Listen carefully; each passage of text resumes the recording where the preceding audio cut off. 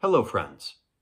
Today's Bible passage is Matthew chapter 18, verses 23 through 35. Jesus is speaking. Therefore, the kingdom of heaven is like a king who wanted to settle accounts with his servants. As he began the settlement, a man who owed him 10,000 talents was brought to him.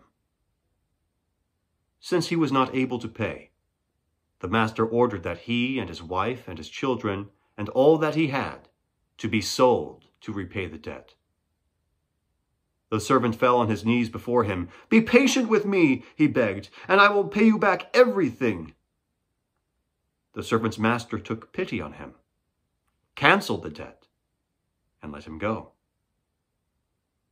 But when that servant went out, he found one of his fellow servants who owed him a hundred denarii. He grabbed him and began to choke him. Pay back what you owe me, he demanded. His fellow servant fell to his knees and begged him, Be patient with me, and I will pay you back. But he refused. Instead, he went off and had the man thrown into prison until he could pay the debt. When the other servants saw what had happened, they were greatly distressed and went and told their master everything that had happened. Then the master called the servant in you wicked servant, he said. I canceled all that debt of yours because you begged me to. Shouldn't you have had mercy on your fellow servant just as I had on you?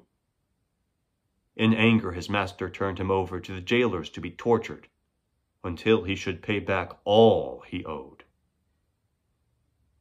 This is how my heavenly Father will treat each of you unless you forgive your brother from your heart.